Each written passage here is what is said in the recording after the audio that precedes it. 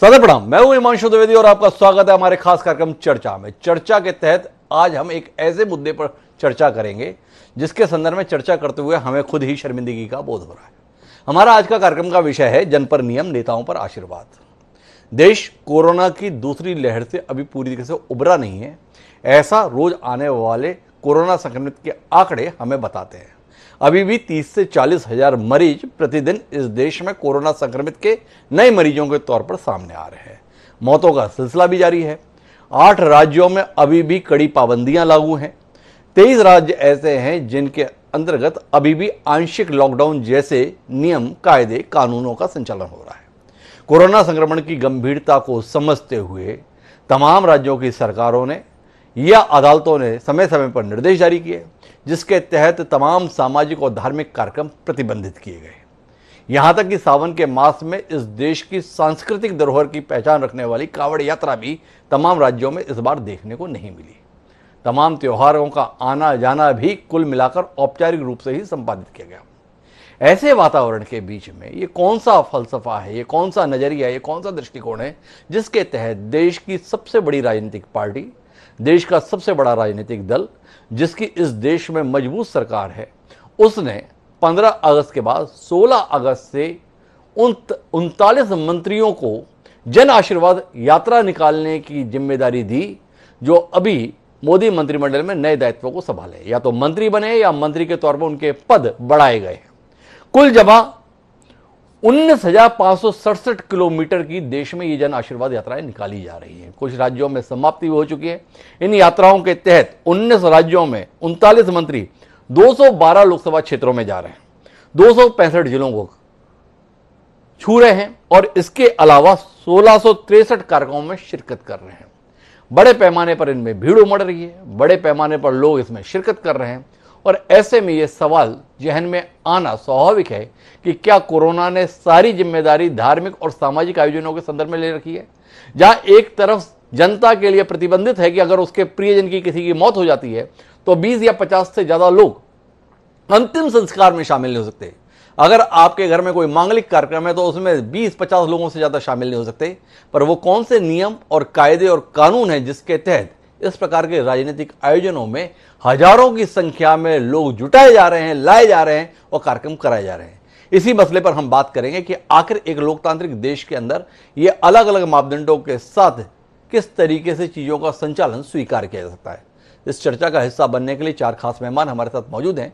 उनके साथ देश की व्यवस्था को लेकर इस संजीदा मुद्दे पर हम कुछ बातचीत करने की कोशिश करेंगे। लेकिन इस सिलसिले को शुरू करें, उससे पहले समय है आज के विचार सूत्र का। और हमारा आज का विचार सूत्र यह कहता है कि law grind the poor and rich man rule the law अर्थात कानून निर्धन को पीसते हैं और धनवान कानून पर शासन करते हैं। ओलिवर गोल्ड स्मिथ ने यह विचार कभी व्यक्त किया था। क्या यह विचार आज की वर्तमान परिस्थिति पर सटीक नहीं बैठता? यह हमारे और आपके विचार का विषय होना चाहिए। और इस रोशनी में अपनी चर्चा को आगे बढ़ाते हैं उस चर्चा का हिस्सा बनने के लिए हमारे साथ में ऑल इंडिया कांग्रेस कमेटी के मीडिया विभाग के सचिव डॉक्टर विनीत पुनिया जी खासतौर पर जुड़े हैं। हमारे साथ में रेणु भाटिया जी हैं, जो प्रवक्ता हैं भारतीय जनता पार्टी की। देश के जाने माने वरिष्ठ पत्रकार श्रवण गर्ग जी इस चर्चा के लिए हमारे साथ जुड़ चुके हैं। और साथ ही डॉक्टर रितु सक्सेना है, जो साइंटिस्ट हैं एलएनजेपी हॉस्पिटल के। आप सभी का स्वागत है। और चर्चा की शुरुआत डॉक्टर विनीत पुनिया जी से ही करते हैं। विनीत पुनिया जी थोड़ा आप अपना नज़रिया साझा करेंगे इस जन आशीर्वाद यात्रा के संदर्भ में। और जिस तरीके से तमाम आयोजन प्रतिबंधित हैं उनकी रोशनी में इस प्रकार के राजनीतिक आयोजनों के माध्यम से राजनीतिक दल देश को समाज को क्या संदेश दे रहे हैं? नमस्कार। सबसे पहले तो मैं ये कहना चाहूँगा कि कोई भी राजनीतिक दल हो जी। उसको अपनी राजनीति को ऐसी चीज़ों से अलग रखना चाहिए। लेकिन भारतीय जनता पार्टी का नियम जो है भारतीय जनता पार्टी के जो असूल हैं वो कहते हैं कि एक नियम हमारे लिए है और एक नियम बाकी सारी दुनिया के लिए है जी। तो जिस तरह से जो हो रहा है जो सबके सामने है मैं बयान पढ़ रहा था रणदीप गुलेरिया जी का जी। जिसमें उन्होंने कहा कि जब तक ज़रूरी ना हो आप घर से बाहर ना निकलें मैं बयान पढ़ रहा था बाकी भी कुछ विशेषज्ञों के लेकिन भारतीय जनता पार्टी बिल्कुल अपने आप को कानून से और जिम्मेदारियों से ऊपर समझती है। और इनके लिए जो सबसे इंपॉर्टेंट चीज़ है वो ये है कि सत्ता सत्ता और सत्ता। जी। किसी भी तरह से लोगों को बहकाएँ और बहलाएँ और अपने असली मुद्दों से ध्यान बांटने के लिए दूसरे मुद्दों पे चले जाएँ। आज के दिन असली मुद्दे हैं महँगाई असली मुद्दा है बेरोजगारी असली मुद्दा है किसान की समस्या असली मुद्दा। जो इतने मुद्दे आप देख रहे हैं जो जिस पे लेकिन ये बात नहीं करेंगे और ये कहेंगे कि जन आशीर्वाद देखिए आज के टाइम पे मैं मैं कह रहा हूँ कि जो भारतीय जनता पार्टी है अपना जन जन समर्थन खो रही है और उसी घबराहट में उसी बौखलाहट में जिस तरह से ये गलतियों पे गलतियाँ करते जा रहे हैं उससे अपने आप को और एक्सपोज कर रहे हैं। मुझे ज़्यादा कुछ नहीं कहना इसके ऊपर मुझे मैं सिर्फ़ इतना कहना चाहता हूँ कि भारतीय जनता पार्टी को देश को पहले रखना चाहिए, राजनीति को बाद में रखना चाहिए। बाकी चीज़ें सब हो जाएँगी। सबसे पहले हमें कोरोना से जो लड़ना है, मिलकर लड़ना है और हम मिलकर इसको जीतेंगे। आज तक जो इनको लगता है कि सब कुछ भगवान भरोसे चल रहा है, आगे भी शायद ठीक ही होगा। ऐसा इनका एटीट्यूड है और उसी लिए जो ये हो रहा है, जो बिल्कुल निंदनीय है, जो नहीं होना चाहिए और जो कार्यक्रम के नाम पर जो भीड़ इकट्ठा कर रहे हैं, सब चीज़ें कम्युनिकेशन है। अगर ये चाहते हैं कि कम्युनिकेशन करना चाहें तो ये कर सकते हैं, लेकिन जानबूझकर ऐसे रास्ते अपना रहे हैं जिससे अपने आप को जो खोती हुई लोकप्रियता है, उसको पर्दा डाल सकें, उसके ऊपर पर्दा ढक सकें, ये दिखा सकें कि नहीं नहीं, हमारे पास तो बहुत लोग आ रहे हैं। और ये जो लोग आ रहे हैं, ये मैं जानता हूँ वो कैसे आ रहे हैं, बहुत प्रयास करने से लोग आ रहे हैं। ये लोग वैसे नहीं आ रहे, अपने आप नहीं आ रहे, लोगों की कोई इच्छा नहीं है कि, क्योंकि लोग सात साल से सरकार को देख रहे हैं हताश हैं निराश हैं इस सरकार से लेकिन ये सरकार अपनी गलतियों पर पर्दा डालने के लिए नित रोज नए बहाने घट रही है नए नए तरीके अपना नित तो नए तरीके अपना रही है। डॉक्टर विनीत पुनिया जी का कहना है कि पहले देश को देखना चाहिए दल हित बाद में देखे जाने चाहिए। पर भारतीय जनता पार्टी तो कहती है कि सबसे पहले देश है बाद में दल है और उसके बाद हम हैं।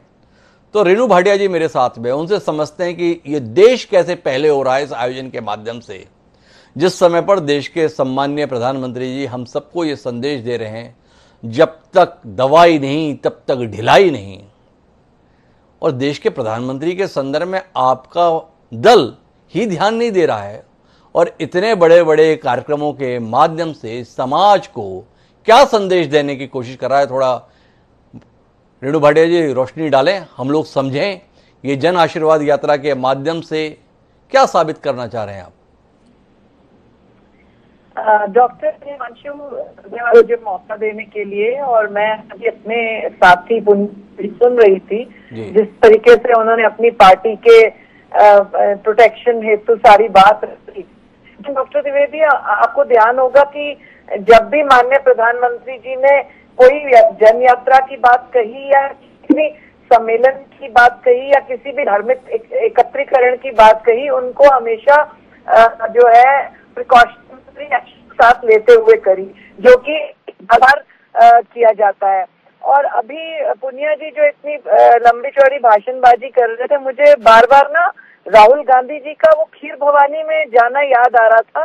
फॉर्चुनेटली जिस दिन राहुल जी खीर भवानी में थे मैं भी वही थी। और जो थोड़े बहुत लोग उनके जानकार जो उनके लिए इकट्ठे हुए थे वो भी एक तरह से उनको खुश करने के लिए वो भी एक जन यात्रा जहाँ जहाँ भी उन्होंने कश्मीर में निकाली दो तीन जगह पर तो मैंने बराबर बार बार वही चीज़ दी। तो अब दूसरे को दोष पर ठहरा देना और कह देना इस तरह से यदि इस तरह से किसी जवान के साथ कोई शहादत उसकी हुई होती तब ये कभी कश्मीर नहीं गए और इस तरह से कभी इन्होंने नहीं किया ना इनको याद है। और अब अगर हम बात करते हैं कोरोना की प्रोटेक्शन और सारी बातें जो पुनिया जी अभी कह रहे थे मुझे ताजुब हो रहा है। पुनिया जी कह भी कैसे सकते हैं? पुनिया जी उस पार्टी का नेतृत्व करते हैं प्रवक्ता के तौर पर जिस पार्टी के नेताओं ने कहा था कि ये इंजेक्शन मत लगाओ प्रिकॉशन मत लो और वैक्सीन करने से ये हो जाएगा वो हो जाएगा तरह तरह के इन्होंने लोगों को भ्रम में डालने के जो काम किए थे ये इन्हीं ने किए थे। और आज ये हमारे को उल्टा ही उसी बात के लिए करते खैर ये भारतीय जनता पार्टी की सरकार ही है जो आप अभी कह रहे थे कि आ, नेशन फ़र्स्ट वाली बात को लेकर नेशन आपको जनता माननीय नरेंद्र मोदी सरकार के लिए फ़र्स्ट है। इसीलिए सभी देशों का आंकड़ा हिमांशु जी आपके पास तो हर देश का आंकड़ा होता है। सभी देशों का आंकड़ा आप देखें कि किस प्रकार में दूसरे देशों में कोरोना की छाप छूटी और किस प्रकार से लोग वहाँ परेशान हुए।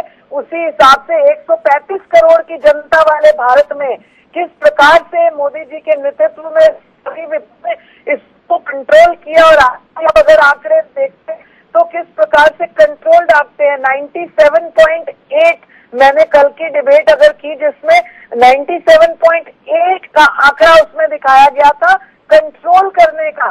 तो ये कोई छोटा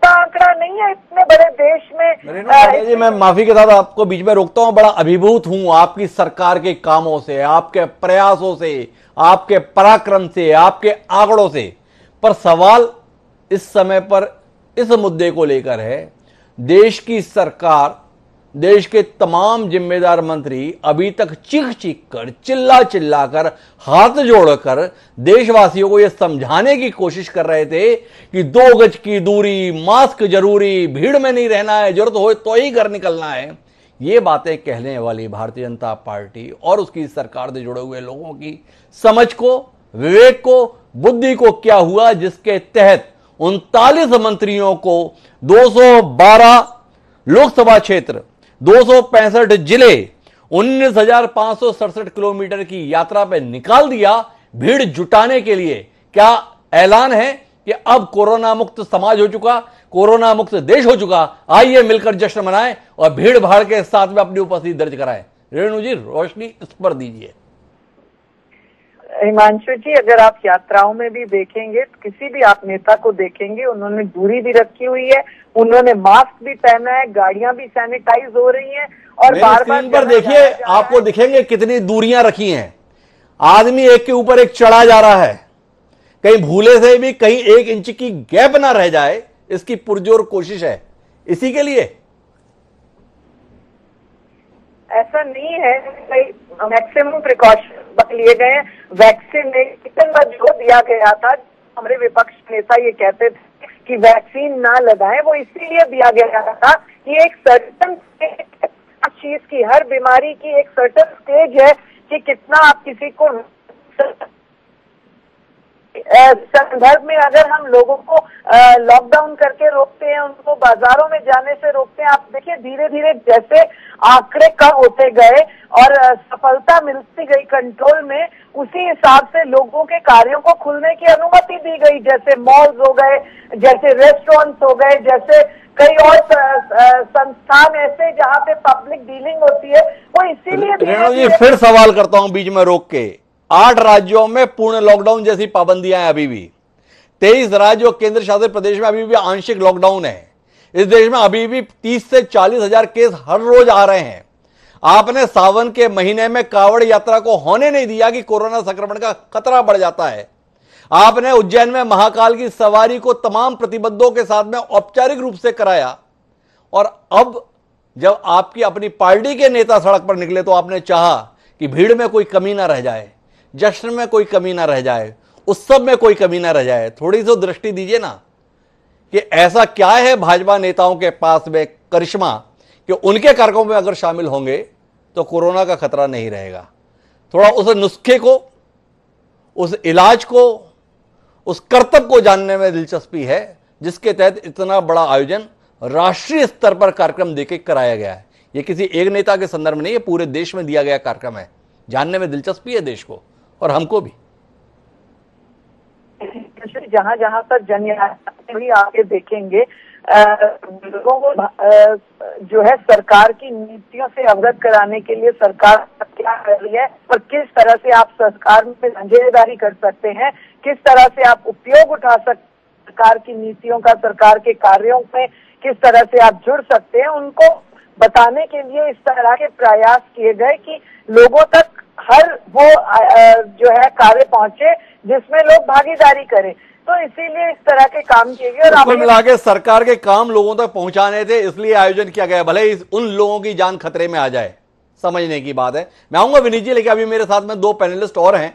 मैं डॉक्टर रितु सक्सेना जी आपके पास आना चाहता हूँ और आपसे तकनीकी मुद्दे को समझना चाहता हूँ। आपसे समझना चाहता हूँ कि क्या इस देश में कोरोना वायरस का प्रभाव क्षीण हो गया है? क्या कोरोना वायरस की मारक क्षमता में काफ़ी कमी आ गई है? कि अब अगर राजनीतिक दृष्टि से हम कार्यक्रमों में शामिल होते हैं या राजनीतिक दल कार्यक्रम करते हैं तो संक्रमण के खतरे को लेकर ज़्यादा चिंता करने की ज़रूरत नहीं है सब कुछ ठीक ठाक है। देखिए आपने बहुत ही अच्छा टॉपिक मतलब लोगों के अंदर अवेयरनेस के लिए बहुत ही अच्छा टॉपिक चुना है आज। क्योंकि किसी भी चाहे कोई भी पॉलिटिकल पार्टी हो अगर वो कोई इसी तरह की यात्रा बिकॉज़ हमारे जितने भी पॉलिटिशियंस हैं मैं बार बार कहती हूँ ये हमारे रोल मॉडल्स हैं। तो जो भी ये कुछ करते हैं तो जनता उनसे बहुत ज़्यादा प्रभावित होती है। और अब आप हम स्क्रीन पे भी देख रहे हैं हमने देखा भी है कि इतनी ज़्यादा भीड़ भाड़ अगर पॉलिटिशियंस करवाएँगे तो इसका नतीजा यही निकलेगा कि लोग और भी ज़्यादा मतलब केयरलेस हो जाएँगे। अभी भी हैं थोड़े से लेकिन और हो जाएँगे। कई लोग अभी वैक्सीनेटेड भी नहीं है। तो मुझे ऐसा लगता है कि अगर वैक्सीनेशन कंप्लीट नहीं हुआ और अगर हमने ऐसी यात्राएँ और निकाली तो इतनी भीड़ भाड़ में ऐसे हर तरीके के लोग हैं। जैसे इन्होंने बताया मैडम ने कि पॉलिटिशियंस अपना बहुत ध्यान रखते हैं, डेफिनेटली अपना बहुत ध्यान रखते हैं, लेकिन जो आने वाली पब्लिक है, उनमें से हर तरह के लोग हैं, कई हो सकता है अनएजुकेटेड हो, कई इतना ध्यान ना रख पाते हो, और उनको संक्रमण का खतरा ज़्यादा है। वो अपनी, हो सकता है उनमें से कई लोग वैक्सीनेटेड भी नहीं हो तो मुझे ऐसा लगता है कि ऐसी यात्राओं को बिल्कुल भी नहीं करना चाहिए अभी। अभी वैसे भी फेस्टिवल सीज़न शुरू हो रहा है तो लोगों को लगता है कि जब हमारे नेता लोग ऐसा कर रहे हैं तो हमें तो मार्केट में जाने से या मॉल में जाने से बिल्कुल परहेज नहीं करना चाहिए। और इन सब का जो भी बाद में परिणाम निकलेगा कि हम लोग जो थर्ड वेव की तैयारी कर रहे हैं जी। हम तो प्रार्थना यही करते हैं कि ना आए थर्ड वेव लेकिन अगर थर्ड वेव इसी तरह से चलता रहा तो ज़रूर आएगी थर्ड वेव और अगर थर्ड वेव आएगी तो डेफिनेटली सेकेंड वेव से हो सकता है ज़्यादा घातक हो नया स्ट्रेन आ जाए और लोगों की जान का काफ़ी ज़्यादा नुकसान हो सकता है। मैं, तो मैं जी आपसे थोड़ा समझना ये चाहता हूँ क्योंकि आप तो साइंटिस्ट हैं विषय को बड़ी गंभीरता से समझती हैं। ये कोरोना वायरस क्या क्षेत्र और आयोजन के अनुसार व्यवहार करता है क्योंकि यही देश की सरकार है यही राज्यों की सरकार है जिसने बताया है कि अगर विवाह समारोह आप कर रहे हैं तो आपको 50, 100 या 200 से ज़्यादा इकट्ठा नहीं होना है संक्रमण का खतरा बढ़ जाएगा। अगर आपके यहाँ किसी की मौत हो जाती है तो 10, 20, 50 लोगों से ज़्यादा अंत्येष्टि के कार्यक्रम में शामिल नहीं होना है, नहीं तो संक्रमण का खतरा बढ़ जाएगा। और अगर आप ऐसा कुछ करेंगे तो आपके खिलाफ मामला भी दर्ज हो जाएगा, आपको गिरफ़्तार भी किया जा सकता है। धार्मिक आयोजन हो रहे हैं तो धार्मिक आयोजनों को प्रतिबंधित कर दिया जैसे सावन के अंतर्गत आप अभ्यस्त हैं, दिल्ली से लेकर हरिद्वार तक लोग पैदल चलते हैं, नंगे पैर चलते हैं, भावना से उत्प्रोत होकर चलते हैं, लेकिन उसे बंद कराया गया। ये कहते हुए कि नहीं नहीं, कोरोना का अभी भी प्रकोप है और इसलिए ऐसे आयोजन की अनुमति नहीं दी जा सकती। लेकिन इन सबके बीच में, उन्नीस राज्यों में हज़ारों की संख्या में राजनेताओं के द्वारा नहीं, बल्कि मंत्रियों के द्वारा, हुक्मरानों के द्वारा बाकायदा भीड़ को बुलाया जा रहा है। उनसे अपेक्षा की जा रही है कि वो उन मंत्रियों को आशीर्वाद दें। तो आपसे समझना ही चाहता कि कोरोना का जो वायरस है, वो धार्मिक आयोजनों में, सामाजिक कार्यक्रमों में ज़्यादा प्रभावी होकर मारक क्षमता का प्रदर्शन करता है। पर राजनीतिक दलों के कार्यक्रम में और मंत्रियों के कार्यक्रम में कोरोना को अपनी सीमा का पता है, डरता है वो मंत्रियों से। और इसलिए वहाँ पर कोई खतरा नहीं रहता है। क्या ऐसा कुछ व्यवहार रहता है? आपसे समझना चाहता हूँ। देखिए कोविड वायरस अगर ऐसा कर पाता तो शायद ज़रूर कर लेता लेकिन ऐसा नहीं है क्योंकि उसमें आने वाली एक्चुअली हम बेसिकली हम बात करें तो भीड़ की बात करते हैं। जब भी कहीं भीड़ होती है जैसे बीच में भी सेकेंड वेव में हमने देखा कि किसी पार्टी में लोग गए सारे लोग इन्फेक्ट हो गए तो कोविड वायरस ऐसा भेदभाव नहीं करता है। अगर करता होता तो शायद आपकी बात सच होती, लेकिन ऐसा नहीं है। किसी भी भीड़ भाड़ वाली जगह पर, जहाँ इतने हज़ारों की तादाद में लोग जा रहे हैं तो वहाँ इन्फेक्शन का खतरा बहुत ज़्यादा है। और ज़रूरी नहीं, मैं बार बार कह रही हूँ कि कोविड ही हो। आजकल फ्लू लाइक बहुत सारा इन्फ्लुएंजा वायरस चल रहा है फ्लू लाइक सिम्टम्स के फीवर आ रहा है लोगों को। तो अगर आप ऐसे जो रेस्पिरेटरी ट्रैक वाले इन्फेक्शन हैं, उनको बहुत बढ़ावा मिलता है। तो ऐसे जितने भी ऐसे मतलब आयोजन है, उनको अभी मुझे लगता है रद्द कर देना चाहिए। तो अगर ऋतु सक्सेना जी को लगता है कि ये कतई ठीक नहीं हो रहा है जो भी हो रहा है। लेकिन मैं श्रवण करेंगे आपके पास कुछ और सवाल लेके आना चाहता हूँ। सबसे पहले तो आपसे ये समझना चाहता हूँ कि ये तो नहीं माना जा सकता कि देश की सरकार या भारतीय जनता पार्टी इतनी ना समझ है कि वो इस भीड़ के परिणामों को ना समझती हो कोरोना की भयावहता को ना समझती हो कोरोना की गंभीरता को ना महसूस करती हो। पर इसके बाद भी इतने बड़े आयोजन को कराने का जोखिम उठाती है। क्यों उठाती है? ये सवाल जहन में आता है। और श्रवण गर्ग जी कहीं ना कहीं इस सवाल का कोई उत्तर तो खोज पाए होंगे। इसलिए उस उत्तर को आपसे अपने दर्शकों के बीच में साझा करने की अपेक्षा करता हूँ। श्रवण जी। देखिए मैं इसको ऐसे मानता हूँ कि एक एक बड़ा राजनीतिक संकट इस समय मुझे लगता है कि पार्टी के सामने है। जी। और वो उत्तर प्रदेश में ज़्यादा बड़ा है। जी। तो उसको लेकर ये सारी दिक्कतें पैदा हुई। जी। अब नए मंत्रियों से कहा गया है कि वो यात्राएँ निकालें। जी। तो जिन लोगों को मंत्रिमंडल से निकाल दिया गया उनको कौन सी यात्रा निकालनी चाहिए? और अभी उत्तर प्रदेश में एक नया विस्तार होने वाला है। जी। तो वो लोग भी यात्राएँ निकालेंगे। जी। तो ये जन आशीर्वाद यात्रा नहीं कोरोना आशीर्वाद यात्रा है। जी। इसमें मंत्री से तो कहा गया है कि वो जनता के बीच में जाए। डॉक्टरों और अस्पतालों से नहीं कहा गया है कि वो तैयारी करें। जी। हिमांशु जी दुनिया के किसी देश में ऐसा नहीं होता है। जी। अफ़गानिस्तान में इस समय आतंकवादी बंदूकें लहराते हुए सड़कों पर घूम रहे हैं। भारत के बहुत सारे लोग वहाँ फंसे हुए हैं। महिलाएँ और बच्चे संकट में हैं। और ऐसे वक्त में जब सारी दुनिया चिंता कर रही है, हम लोग जन आशीर्वाद यात्रा निकाल रहे हैं। ये बड़ा एक विचित्र मामला है कि कैसे यह पार्टी सोच भी पाती है कि इस तरह से आपने ज़िक्र किया महाकाल का मैं कहता हूँ भगवान जगन्नाथ की यात्रा जी। बहुत प्रतिबंधों के साथ निकाली जाती है पर ये हमारे जो नए राजनीतिक भगवान हैं जी। इन पर कोई प्रतिबंध लागू नहीं होता। उत्तर प्रदेश में हिमांशु जी कोई सत्रह लाख के करीब केसेस हुए हैं। जी। और ऑफिशियल डेथ कोई बाईस हज़ार के करीब बताई गई है बाईस तेईस हज़ार। जो। दुनिया के विशेषज्ञों के आंकड़े हैं उसमें वो बताते हैं कि हमारे यहाँ की जो मौतें हैं और जो संक्रमण है वो चार गुना पाँच गुना कम करके बताया गया है। कुछ लोग तो आठ गुना तक भी बताते हैं। आप कल्पना कीजिए कि इतना बड़ा राज्य है पच्चीस करोड़ का उत्तर प्रदेश उसमें कितने केसेस हुए होंगे और आगे कितने केसेस होंगे और गंगा किस तरह से प्रभावित होने वाली है। कोरोना की दूसरी लहर में जब उत्तर प्रदेश जूझ रहा था ऑक्सीजन से अस्पतालों से डॉक्टरों से तब उत्तर प्रदेश के मुख्यमंत्री बंगाल में चुनाव प्रचार कर रहे थे और उनके साथ उनके बहुत सारे मंत्री मंडल के लोग थे। जी। तब उत्तर प्रदेश में लोग मर रहे थे। अब उत्तर प्रदेश में चुनाव है। तब बंगाल से भाजपा के लोग चुनाव प्रचार के लिए यहाँ आएँगे। ये कुछ यानी क्यों इसके पीछे क्या सरकार इतनी भयभीत है जनता से जी। कि उसकी नाराज़गी को भांपने के लिए उसके मूड को भांपने के लिए इतनी डेस्परेट हो गई है कि एक महामारी का की, उप, की उपस्थिति में भी उसको कोई चिंता नहीं है। जी। लोगों की जान माल के साथ उसको कोई चिंता नहीं है। इंदौर में तो आपने देखा होगा कि माधवराव ये जो ज्योतिरादित्य सिंधिया की जो जन आशीर्वाद यात्रा थी उसमें घोड़े को ही केसरिया रंग दिया गया। जी। और घोड़े पर कमल का निशान बना दिया गया। और मेनका गांधी ने उस पर आपत्ति ली जो कि भाजपा की है जी। कि ये एनिमल क्रुएल्टी के अंतर्गत आता है। जी। ये तनाव बढ़ने वाला है हिमांशु जी। देखिए समाजवादी पार्टी ने भी कहा है कि हम भी यात्राएँ निकालेंगे। जी।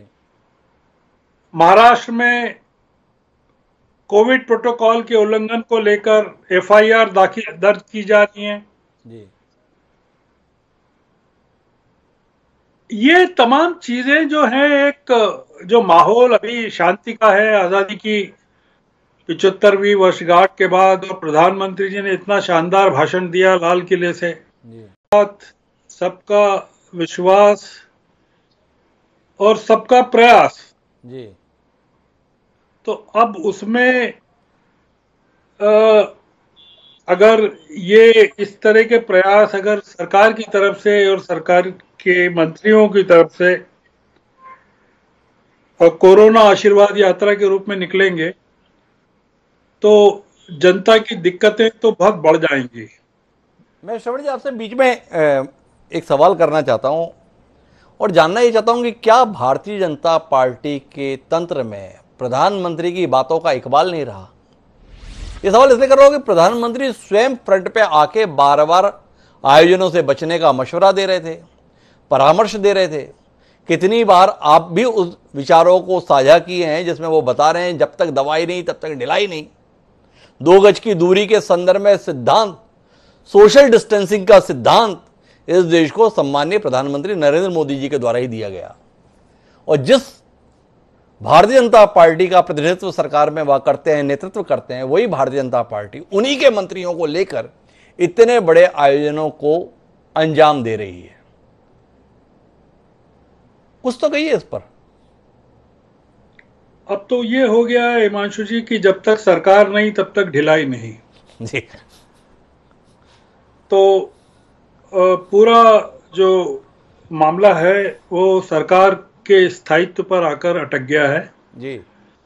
और ये दुर्भाग्यपूर्ण है क्योंकि विपक्षी दल भी बजाय विरोध करने के समाजवादी पार्टी बजाय विरोध करने के जनता के पास जाने के कि नहीं ये गलत हो रहा है वो खुद भी कह रही है कि हम भी करेंगे। मतलब ये कि एक कंपटीशन का एलिमेंट आ गया है।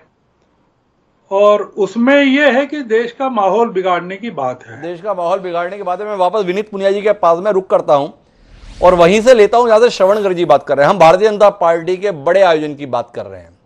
पर विनीत पुनिया जी जो खारिज कर रहे हैं, वो विनीत पुनिया जी की जानकारी में होना चाहिए कि जहाँ उनकी पार्टी सरकार में है, जहाँ उनकी पार्टी सत्ता में है, वहाँ पर भी बड़े बड़े आयोजनों से कोई परहेज नहीं है। खासी भीड़ है। छत्तीसगढ़ के संदर्भ में बात करें, कल आपके राजीव गांधी जी की जयंती के उपलक्ष्य में छह कार्यालयों के उद्घाटन के समारोह थे। क्या भीड़ थी? क्या उत्सव था? क्या जलसा था? विनय जी, भाजपा के आयोजन के संदर्भ में आपकी जितनी नाराज़गी है शुभता है, आक्रोश है, कोरोना के इस दौर में जहाँ मौका मिल रहा है, आप भी कहाँ पीछे हैं? तो कुल मिलाकर इस देश के राजनेताओं ने तय कर लिया है कि उनके राजनीतिक हित सबसे ज़्यादा महत्वपूर्ण है। जनहित से कोई सरोकार नहीं। इस दृष्टिकोण से देखें। देखिए मैं दो बात स्पष्ट करना चाहूँगा। सबसे पहले क्योंकि डॉक्टर रेनू ने एक बात बोली थी कि ये जो वैक्सीन हेजिटेंसी है वो कांग्रेस लेके आई। कांग्रेस ने ऐसी अफवाहें फैलाई। कांग्रेस के कारण ऐसा हुआ। जी। तो बहुत स्पष्ट रूप से ये एक दुष्प्रचार है जो बीजेपी द्वारा बार बार किया जाता है। जी। और मैं इसको पूरी तरह से डॉक्टर रेनू को कहूँगा कि वो एक भी स्टेटमेंट दिखाएँ कांग्रेस की तरफ़ से। एक भी मैं बोल रहा हूँ एक भी।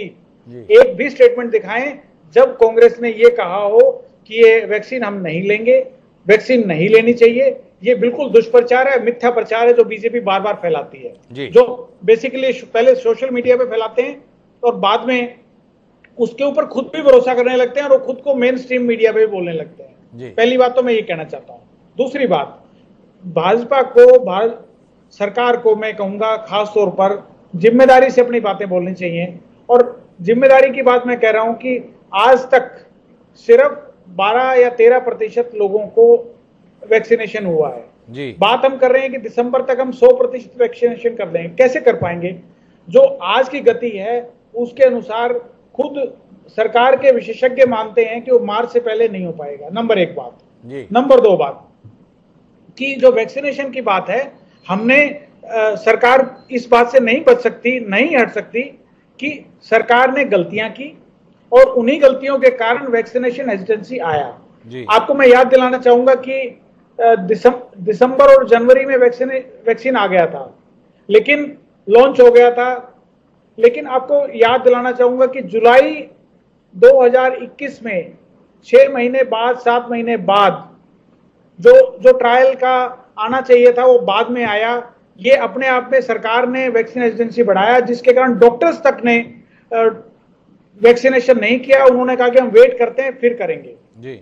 दूसरी बात जहाँ तक कांग्रेस की बात है कांग्रेस ने मैं नहीं कह रहा कि हमने आयोजन नहीं किए हमने आयोजन किए लेकिन वो छोटे आयोजन किए देश भर में हमने महँगाई का मुद्दा है जिसके ऊपर पेट्रोल डीजल की महँगाई है जिसके ऊपर हमने देश भर में हर ज़िले में आयोजन किया लेकिन उस हर आयोजन में हमने ज़्यादा भीड़ इकट्ठी नहीं की। हमने मुद्दा उठाया। ज़्यादातर मुद्दे हमने सोशल मीडिया कैंपेन्स के थ्रू उठाए हैं। हम कोशिश करते हैं कि बेसिकली ज़्यादा भीड़ ना इकट्ठी की जाए और जो भी बात अपनी रखी जाए, वो लोगों तक पहुँचा दी जाए। जहाँ तक की बात है कि ये अभी आपने बोला कि छत्तीसगढ़ का तो छत्तीसगढ़ का मैं ज़्यादा जानकारी नहीं रखता हूँ, लेकिन निश्चित रूप से हमारे जो मुख्यमंत्री हैं, वो बहुत समझदार हैं और सरकार को बहुत अच्छे ढंग से चला रहे हैं। और उनको अपनी जिम्मेदारियों का एहसास है। वो जो कुछ भी करेंगे, ठीक से करेंगे, मैं ये विश्वास में रखता हूँ। तो विनीत बुनिया जी का मानना है कि इस बात का ध्यान रखा जाएगा। इस बात के संदर्भ में हम लोग ध्यान भी रखते हैं, हम आयोजन सीमित तरीके से भी करते हैं। लेकिन कुल मिलाकर विनीत पुनिया जी, क्या आप इस खतरे को महसूस कर पा रहे हैं कि ये जो आयोजन के सिलसिले शुरू हुए हैं? श्रवणगर जी इशारा कर रहे हैं कि जवाब में समाजवादी पार्टी ने कह दिया कि हम भी यात्राएँ निकालेंगे। बहुजन समाज पार्टी उत्तर प्रदेश में प्रबुद्ध सम्मेलनों के माध्यम से भीड़ जुटाई रही है तो कुल मिलाकर सियासत के लिए सत्ता में आने के लिए या सत्ता में बने रहने के लिए जनता की जान से खिलवाड़ करने का जो ये चरित्र ज़ाहिर हो रहा है राजनेताओं के द्वारा और राजनीतिक दलों के द्वारा क्या कहें इस पर कुछ कहना चाहेंगे आप? ये ये निश्चित रूप से चिंताजनक है और ये नहीं होना चाहिए। जी। और मैं बिल्कुल ज़ोर दे के कह रहा हूँ बिल्कुल सबके सामने कह रहा हूँ और बहुत विश्वास से कह रहा हूँ कि जो सत्ताधारी दल होता है जी। उसके पास जिम्मेदारियाँ सबसे ज़्यादा होती हैं। जी। और ये मैं कोई इंगित नहीं कर रहा प्रधानमंत्री के ऊपर कि वो उन्होंने मास्क नहीं लगाते हैं या वो कम लगाते हैं या उन्होंने बहुत रैलियाँ की। आपको मैं ये भी याद दिलाऊँगा कि चुनाव चल रहा था फिर भी हमने बंगाल के चुनाव में हमने अपनी रैलियाँ छोड़ दी थी। राहुल जी ने रैलियाँ नहीं की थी। श्री राहुल गांधी अकेले राष्ट्रीय नेता थे। जिन्होंने सबसे पहले सेकेंड वेव आने से पहले अपनी रैलियों को रोका था और इस आभास किया था कि नहीं, आज हमें रैली नहीं, आज चुनाव नहीं, पहले लोगों की सुरक्षा ज़रूरी है। तो उसका अप्रिसिएशन होना चाहिए। और जहाँ तक आपने बात की कि ये जो सरकार कर रही है, जिस तरह से राजनीतिक आयोजन कर रही है उससे निश्चित रूप से जो दूसरे दल हैं, उन पर प्रभाव पड़ता है और उनके ऊपर उनको भी लगता है कि अगर हम नहीं करेंगे तो ऐसा लगेगा कि आप अपनी आप बच रहे हैं या आपके पास जन समर्थन नहीं है या आप जनता के सामने जाने से बच रहे हैं तो ये सब बेसिकली मैं कह रहा कि सबसे बड़ी ज़िम्मेदारी सत्ता में जो दल बैठा होता है, प्रधानमंत्री बैठा होता है, उनकी होती है और मंत्रियों की होती है, पूरे मंत्रिमंडल की होती है। खासतौर पर जिस तरह से मंत्रियों का ये व्यवहार है, वो निंदनीय है, वो नहीं होना चाहिए। उनको ज़िम्मेदारी से काम करना। उनको ज़िम्मेदारी से काम करना चाहिए। विनीत जी का कहना है, मैं वापस रेणु भाटिया जी, आपके पास रुक करता हूँ। एक सूत्र दिया था जब कोरोना की पहली लहर आई थी, जान है तो जहान है। फिर उसे संशोधित किया कुछ महीने बाद, जान भी, जहान भी। और अभी जिस प्रकार की यात्राएँ आपकी पार्टी निकलवा रही है, मंत्रियों को ले जाके तो ऐसा लग रहा है अब केवल जहान ही। क्या कहेंगे आप? इंसानी जान की कोई कीमत नहीं रही आपके लिए? कुल मिलाकर सत्ता में रहना है, सत्ता में अपने आप को प्रभावी दिखाना है और इसके लिए जान के स्तर पर कितना ही बड़ा जोखिम क्यों ना ले लिया जाए, उससे परहेज नहीं रखना है। आपका यह आयोजन इस प्रकार की भावनाओं को बल देता हुआ महसूस हो रहा है। कोई शर्मिंदगी, कोई लज्जा, कोई अपने आप में आत्मग्लानी का एहसास भारतीय जनता पार्टी के नेताओं के अंदर आ रहा है कि हम तीसरी लहर की तैयारी के दौर में क्या इस माध्यम से ही समाज के बीच में संदेश दे रहे हिमांशु जी अच्छे भारी भरकम शब्दों का आपने इस्तेमाल किया है। नो डाउट अच्छे एंकर हैं तो शब्दों का पिटारा तो आपके पास बहुत है। लेकिन आप गिलानी या इस तरह के शब्दों को अगर आप हमारे लिए कहेंगे तो मुझे ये बताएँ कि तब हमारे लिए क्या कहेंगे जो हमारे एक एक कार्यकर्ता ने बहुत जो है जब कोरोना पूरी अपने पूरे प्रचंड रूप में था तब कार्यकर्ताओं के तौर पर जो उन्होंने एक एक घर में जाकर राशन पहुँचाया लोगों को मिले उनको उनकी सुरक्षा की उनको जो है हर तरह की मेडिसिन पहुँचाने का काम किया ऑक्सीजन पहुँचाने का काम किया हॉस्पिटल्स तक पहुँचाने का काम किया। मैं स्वयं एक भारतीय जनता पार्टी की छोटी सी सिपाही हूँ और मुझे याद है कि पिछले साल जब कोरोना की ये बुरी लहर आई थी तब शायद चार पाँच महीने तक हम लोगों ने अपने घर वालों से भी प्रॉपरली बात नहीं की थी। तो एक छोटा सा वो अंश था तो उस समय को आप जान जहान के साथ काउंट करते हैं या उसको आप एक दिलेरी सेवा का नाम देंगे? या कोई भी नाम आप आपके पास शब्द अच्छे हैं तो आप उसके लिए भी कोई ज़रूर सराहना वाले शब्द ज़रूर दीजिएगा। वो भी इसी कोरोना काल की बातें हैं इसी जहान की बातें हैं इसी जान की बातें हैं। चलिए आप मैं इस पर अपनी टिप्पणी आपको साथ में देता हूँ। रेणु बड़े ये बड़ा आभारी हूँ मैं। पूरा समाज आभारी है। देश भी आभारी है कि कोरोना संक्रमण के दौरान भारतीय जनता पार्टी के नेताओं ने अपना सर्वस्व हमारी जान बचाने के लिए न्यौछावर कर दिया। प्रण प्राण से जुटे रहे। तो आपसे ये जानना चाहता हूँ कि आप लोगों ने हमारी जान बचाने का उपक्रम उस समय पर क्या इसलिए किया था कि जब आप जन आशीर्वाद यात्रा निकालें तो अपनी जान को जोखिम में डालने के लिए हम उस समय मौजूद रहे। जानने में दिलचस्पी है कि वो उस समय जान आपने इसलिए बचाई थी, वो सेवा कार्य इसलिए किया था कि कोरोना की जब तीसरी लहर आने की आशंका तमाम विशेषज्ञ और साथ ही देश की सरकार के मुखिया स्वयं प्रधानमंत्री भी जताते हैं। और उसके बीच में आप ये आयोजन भारी भरकम करके हम सबकी ज़िंदगी को खिलवाड़ में डालते हैं। क्या इसीलिए जान बचाई थी? क्या इसीलिए इतना सामाजिक कार्य किया था? थोड़ा इस पर भी रोशनी आए। अच्छे शब्द इस्तेमाल किए। मैं बार बार यही बात कहूँगी। You are a very good very perfect anchor I should appreciate this but अगर आप इस बात को ऐसे जोड़ेंगे कि हमने इसलिए जान बचाई तो मुझे नहीं लगता ये शब्द ठीक रहेंगे। uh, ये हमारा फ़र्ज़ था भारतीय जनता पार्टी के हर कार्यकर्ता का ही नहीं देश के हर नागरिक का फ़र्ज़ था कि ऐसी आपातकाल स्थिति में हम लोग सारे जुड़कर मिलकर और इस स्थिति का सामना करें चाहे वो अस्पतालों की हमारी डॉक्टर साहिबा यहाँ पर बैठी हैं चाहे हमारे अन्य पार्टियों के कार्यकर्ता और या फिर हमारे पत्रकार वरिष्ठ पत्रकार साथी बैठे हैं जो अपनी कलम से इन चीज़ों को उजागर करते हैं। रही बात अभी पुनिया जी ने भी बड़े सारी चर्चाएँ इस विषय पर की कि हमने छोटी रैलियाँ की, हमने छोटा ये किया। मतलब जब अपने पर बात आती है तो सब कुछ छोटा हो जाता है। अगर अभी इसी बात को राजनीतिक दृष्टिकोण से कहें कि चार व्यक्ति नहीं थे इनकी रैली में या इनके कार्यक्रम में तो ये कहेंगे, नहीं नहीं बहुत लोग थे। तो कहने का मेरा अभिप्राय केवल इतना है कि जब इनको ज़रूरत हो तब अपने आप को छोटा कह देते हैं। जब इनको ज़रूरत हो समय समय अनुसार अपने आप को पंडित भी कह देते हैं अपने आप को मौलवी भी कह देते हैं और हर संस्कृति से जुड़ने का प्रयास करने की कोशिश करते हैं। जी आप डॉक्टर विनीत पुनिया जी को भूल जाइए। मैं विनम्र अनुरोध करता हूँ। और कुल मिलाकर एक जागरूक नागरिक के नाते आपसे सवाल करता हूँ कि क्या रेणु भाटिया जी, जो सार्वजनिक जीवन में है, सामाजिक क्षेत्र में है, राजनीतिक क्षेत्र में है, इस बात की हिमायत करती हैं कि अब देश में माहौल ऐसा हो गया है जिसमें स्वतंत्र रूप से आयोजन होने देने चाहिए। जितने चाहे लोग आए, जिस जगह चाहें, वैसे जुट जाएँ और उन आयोजनों में हम सब बढ़ चढ़कर भागीदारी दर्ज कराते हुए नज़र आए। क्या आप हिमायती हैं? सिर्फ़ इतना सवाल है। ना ये विनीत पुनिया जी से जुड़ा हुआ विषय है, ना श्रवणकर जी से है, और ना ही डॉक्टर ऋतु सक्सेना से। आपकी बुद्धि, आपके विवेक, आपके समझ, आपके अनुभव के आधार पर क्या निष्कर्ष साझा करना चाहेंगे रेणु भाटिया जी? अगर मैं आपको एक डायलॉग बोलूँ कि सही पकड़े हैं तो कोई इसमें दोहराए नहीं होगी, गलत नहीं होगा। लेकिन आप ये कहें कि अगर हम आज की डेट में अब हम कंट्रोल कर रहे हैं वैक्सीन पूरी कर रहे हैं, उसके बावजूद हम बाहर निकले या ना निकले, अपने काम में जाएँ या ना जाएँ, जिसका जो विभाग है, जो कार्य है, उसमें हम चलें या ना चलें तो मुझे लगता है कि धीरे धीरे हमें अपनी दैनिक दिनचर्या को भी आगे बढ़ाना है, अपने जीवन को भी बचाना है, अपने आप को कोरोना की इस प्रॉब्लम से भी रोकना है तो हमें हर तरफ़ से चौकन्ना होकर, चारों तरफ़ से हमें सतर्क रहकर प्रिकॉशंस को ध्यान में रखते हुए मास्क को पहनते हुए सैनिटाइज करते हुए, खुद को, स्थानों को सैनिटाइज करते हुए हमें हर कार्य के लिए आगे बढ़ना होगा। देखिए, आपके स्टूडियोज में भी एक समय ऐसा आया था कि वो बंद कर दिए गए थे। कोई डिबेट्स नहीं होती थी, हम लोग जूम पर मिलने लग गए स्काइप पर मिलने लग गए, लेकिन धीरे धीरे सब कुछ वापस आया ना। आप ये बताएँ रेणु जी केवल इतना बता दें? आप आपसे सीधा सवाल है। हज़ारों की भीड़ होनी चाहिए। कुल मिलाकर इसकी आप हिमायत कर रही हैं?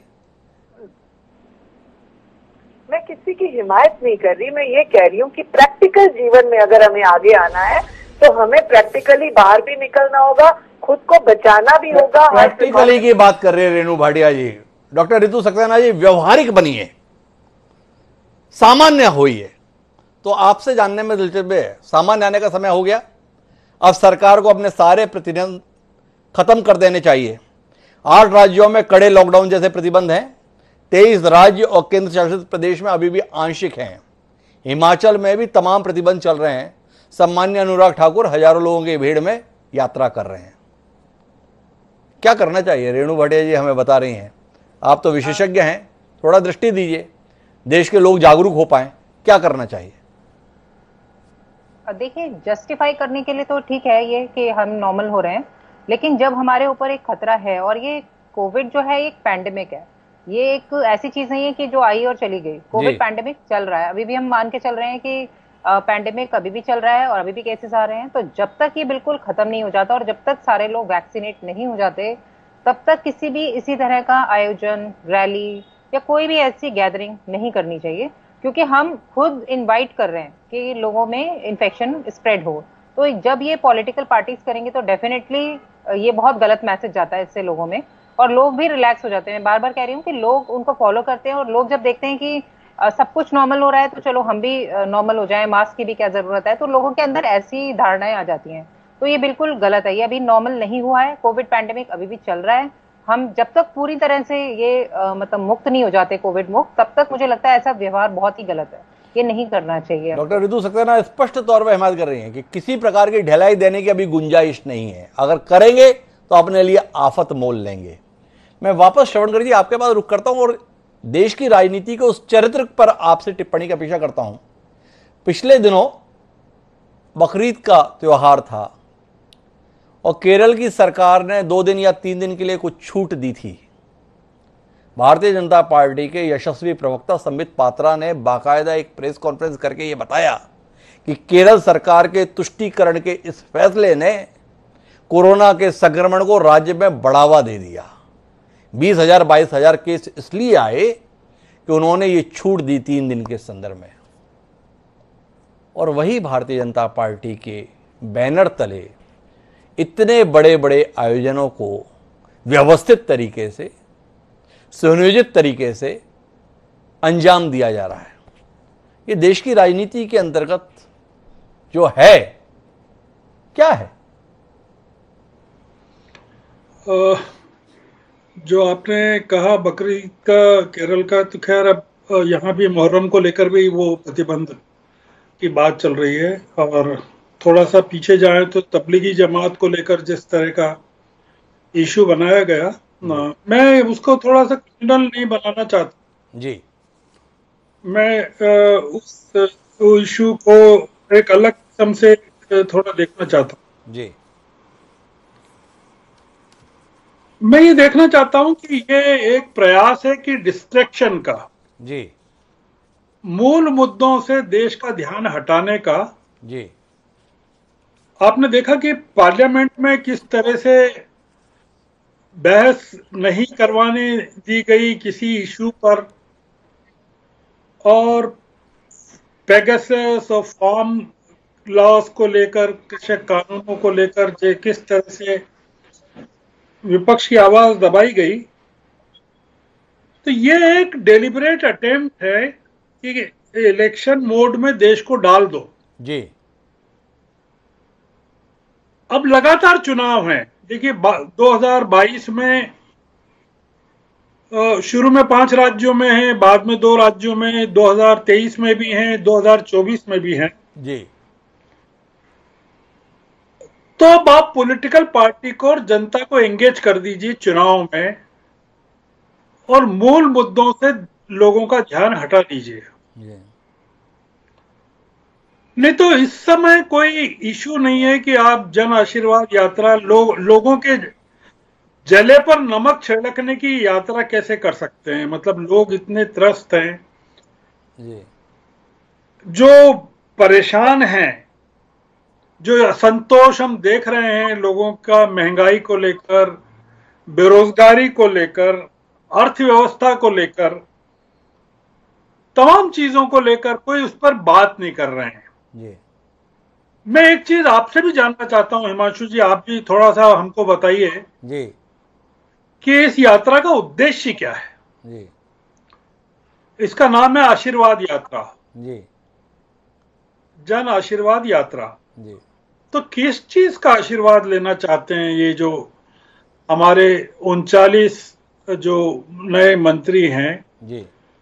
212 कॉन्स्टिट्युएंसीज और बीस हज़ार किलोमीटर। किस चीज़ का आशीर्वाद चाहिए इनको जनता से? इस चीज़ का चाहिए कि हमने जिस तरह से खराब तरीके से सरकार को चलाया उसको आशीर्वाद दीजिए। जो। देश में अभी अराजकता है उसको आशीर्वाद दीजिए। कि जनता का मूड भापना चाहते हैं जनता की नब्स को नापना चाहते हैं। जनता की नाराज़गी को देखना चाहते हैं कि जनता का गुस्सा किस तरह है। अभी एक इंडिया टुडे का सर्वेक्षण प्रधानमंत्री की पॉपुलरिटी को लेकर छपा है। जी। जो पॉपुलरिटी उनकी पिछले साल थी वो घटकर जनवरी में कम हो गई। और अब 24 परसेंट पर आ गई। जी। अब हो सकता है कि वो 24 नहीं चौवालीस हो। जी। कॉन्टेस्ट कर सकते हैं कि चौवालीस से साहब चौबीस नहीं मैं उसका नहीं कह रहा हूँ। जी। एक लगातार हमारे प्रधानमंत्री की इमेज में डेंट लग रहा है और दुनिया में लग रहा है। हम दुनिया भर में देखें तो हमारी डेमोक्रेसी को लेकर लगातार बातें चल रही है। कि हमारे यहाँ डेमोक्रेसी नाम की कोई चीज़ है नहीं खत्म होती जा रही है डेमोक्रेसी तो ये तमाम चीज़ें से लोगों का ध्यान कैसे हटाया जा सकता है भटकाया जा सकता है और इसको कैसे 2024 के चुनाव तक खींचा जाए जी। सारे मुद्दों से लोगों का ध्यान हटाकर। क्योंकि मुझे तो इसका जन आशीर्वाद यात्रा का कोई उद्देश्य समझ में नहीं आता है। आप अगर कुछ बता सकें तो उस पर समझना चाहेंगे। जन आशीर्वाद यात्रा का क्या उद्देश्य है? इसके तो विवेचन हम कर ही रहे हैं, श्रवण जी, लेकिन मैं एक सवाल आपसे समझना चाहता हूँ। नरेंद्र मोदी के संदर्भ में इस बात को उनके विपक्षी भी मानते हैं कि उनका जनता की नब्ज पर हाथ रहता है। जनता क्या चाहती है, क्या नहीं चाहती है, इसको वो समझ पाते हैं, एक। दूसरा, उनकी ताकत रही इस बात की कि वो कुल मिलाकर देश का भला करना चाहते हैं। नीति गलत हो सकती है, पर नीयत गलत नहीं होगी। इस प्रकार की भावना के साथ में एक बड़ा वर्ग है। विनीत पुनिया जी, आपको ऐतराज हो सकता है, पर कुल मिलाकर उनके पास स्पष्ट बहुमत है। श्रवण जी, मैं आपसे यह समझना चाहता हूँ कि इन दोनों बातों के होते हुए कोरोना की तीसरी लहर की आशंका को जो शख्स स्वयं कह रहा है, उसके अपने उनतालीस साथी ऐसे भीड़ भरे आयोजनों में न केवल शिरकत कर रहे हैं, बल्कि आयोजन का कारण बन रहे हैं। क्या यह अपने आप में विचलन का भटकाव का पर्याय नहीं? इसका जवाब ऐसे देता हूँ कि जब देश में कोरोना की दूसरी लहर अपने उफान पर थी जी। तब अमित शाह जो डिजास्टर मैनेजमेंट अथॉरिटी के चीफ थे हैं जी। अभी भी होंगे जी। वो उस समय रोड शो कर रहे थे बंगाल में और प्रधानमंत्री सभाएँ आयोजित कर रहे थे। जी। और हज़ारों की संख्या में लोग उसमें उपस्थित थे। तो ये और अलग अलग प्रदेशों के मुख्यमंत्री वहाँ जा रहे थे बंगाल में तो ये तो प्रोटोकॉल का जो आप आप कहीं कहीं दुनिया में किसी देश में नहीं देखेंगे इस तरह की चीज़ कि ऊपर से नीचे तक एक सिस्टम में सरकार के लेवल पर उसका उल्लंघन हो रहा हो। तो ये तो अगर मैं तो इसको ये आरोप तो नहीं लगाना चाहता कि सरकार जानबूझ करके सर, देश को डेल्टा वेरिएंट के में एक्सपोज करना चाहती है। पर ये खतरा तो बहुत बड़ा है कि पूरा देश अभी वैक्सीनेटेड नहीं हुआ है। और ऐसी स्थिति में डेल्टा वेरिएंट का जो खतरा है उसको लेकर उस अभी तो वहाँ अमेरिका में बूस्टर लग गए हिमांशु जी। थर्ड बूस्टर और फोर्थ बूस्टर की बात चल रही है। जी। और हमारे यहाँ अभी सिंगल जो वैक्सीनेशन है पूरे देश का नहीं हुआ है। नहीं हुआ है तो ऐसी चिंताओं के साथ में श्रवणगरी जैसा संजीदा पत्रकार अपने सरोकार रख रहा है। विनीत पुनिया जी कुछ ऐतराज कर रहे थे जब हम चर्चा कर रहे थे। उनके ऐतराज को सुनते हैं और इस मसले को समापन पर पहुँचाने की कोशिश करते हैं कि भारतीय जनता पार्टी की जन आशीर्वाद यात्रा को लेकर तो विरोध के स्वर हैं। पर क्या कांग्रेस जो इस देश का सबसे पुराना राजनीतिक दल है ऐसे किसी संकल्प के साथ देश के सम्मुख आएगा? जब तक कोरोना है तब तक ऐसे भीड़ भरे आयोजन में किसी कांग्रेसी को शामिल नहीं पाया जाएगा। जी विनीत जी। देखिए मैं इस सबसे पहले बात स्पष्ट करना चाहता हूँ कि जो भी कुछ हो रहा है जी। वो प्रधानमंत्री जी की मर्ज़ी के खिलाफ नहीं हो रहा। जी। उनके आदेश पे हो रहा है उनके कहने पे हो रहा है। एक्चुअली प्रधानमंत्री जी का विश्वास है कि जो मैं कहूँगा वो बाकी लोगों के लिए है वो बीजेपी पे लागू नहीं होता। जी। और वो बीजेपी को सब चीज़ों से परे मानते हैं वो तो उनको उनके लिए सत्ता सबसे पहले है। सत्ता में रहने के लिए वो कुछ भी कर सकते हैं किसी भी हद तक जा सकते हैं ये हमने बार बार देखा है। और ऐसे में मैं ये नहीं मान सकता कि जो जन आशीर्वाद यात्रा हो, हो रही है जो तथाकथित रूप से जनता का आशीर्वाद मांगने के लिए हो रही है वो वास्तव में जो मैं मानता हूँ वो यात्रा अपनी गिरती हुई लोकप्रियता असली मुद्दों से ध्यान भटकाने की कोशिश है और बेसिकली ये एहसास दिलाने की कोशिश है कि देखिए अभी भी हमारे साथ जनता है हमने जनता का विश्वास नहीं खोया है। जबकि वास्तव में जनता का विश्वास खो चुके हैं वास्तव में असली मुद्दे जो हैं लोगों को परेशान कर रहे हैं और उनके सामने ये एक्सपोज हो चुके हैं इसलिए आज ये बहकाने के लिए कोशिश कर रहे हैं और अलग अलग मुद्दे अलग अलग तरीके से बात को भटका रहे हैं। जी। जो बात आपने बोली कि कांग्रेस कांग्रेस तो बहुत विपक्ष है और जिम्मेदार विपक्ष है। जी। हमें अपनी ज़िम्मेदारी का एहसास है। हम कोई भी ऐसा काम नहीं करते जिससे कोरोना बढ़े। हम कोई भी ऐसा काम नहीं करते जिससे सरकार के जो अगर कोई प्रयास हो रहा है कोरोना को कंट्रोल करने का उसको कहीं चोट लगे। हम बिल्कुल सरकार के साथ खड़े हैं हम देश के साथ खड़े हैं और हम चाहते हैं कि देश मिलकर इस कोरोना के ऊपर विजय हासिल करे। लेकिन उस उसके लिए मैं एक बात जोड़ना चाहूँगा सरकार को प्रयास करने पड़ेंगे सरकार को व्यवस्था करनी पड़ेगी वैक्सीन की। आज भी वैक्सीन की कमी है बहुत कमी है और आज हमें वैक्सीन सब पूरे देश को वैक्सीन करना करना वैक्सीनेट करना है। तो इसके लिए सरकार को ये सब प्रपंचबाजी छोड़कर राजनीति छोड़कर प्रशासन पर, शासन पर ध्यान लगाना चाहिए और टीकों का इंतज़ाम करना चाहिए। तो विनीत बुनिया जी, आश्वासन दे रहे हैं कि कांग्रेस जिम्मेदार विपक्ष की भूमिका निभाएगा, ऐसे आयोजनों से परहेज रखेगा। हम सरकार के साथ खड़े हैं कोरोना की रोकथाम के संदर्भ में। मैं आखिरी बातचीत के लिए डॉक्टर रितु सक्सेना आपके पास रुक करता हूँ। और बतौर विषय विशेषज्ञ, आपसे जानना चाहूँगा कि आप इस कार्यक्रम के माध्यम से क्या सोच ज़ाहिर करेंगी कि समय किन एहतियात के साथ सरकार और समाज दोनों को रहना चाहिए। देखिए मैं तो यही कहना चाहूँगी कि ऐसी किसी भी आ, मतलब चाहे वो आपका फैमिली फ़ंक्शन हो घर का या किसी आ, रैली में जा रहे हो तो आप लोग अपनी जान की सुरक्षा खुद करिए। मेरा मतलब पब्लिक से यही अनुरोध है कि आप लोग ऐसी रैलीज में बिल्कुल मत जाइए। और अगर आपके घर में भी कोई फैमिली फ़ंक्शन होता है तो आप कोशिश करिए कि जितनी आ, कम से कम बहुत ज़रूरी हो तभी आप जाएँ अदरवाइज़ ना जाएँ। और जैसा कि मैंने बार बार कहा कि रोल मॉडल्स हमारे पॉलिटिशियंस हैं। अगर वो ही नहीं जाएँगे रैली में तो जनता आएगी नहीं। तो अगर अवॉइड जब तक वैक्सीनेशन नहीं हो रहा, जब तक हमारे हर नागरिक को वैक्सीन नहीं लग रही, तब तक और जब तक थर्ड वेव का खतरा है तब तक मुझे लगता है कि ऐसा बिहेवियर हम लोगों को चेंज करना पड़ेगा। मास्क के साथ रहना है हैंड सैनिटाइजेशन करना है और सोशल डिस्टेंसिंग तभी हो पाएगी जब हम ऐसी गैदरिंग्स को अवॉइड करेंगे।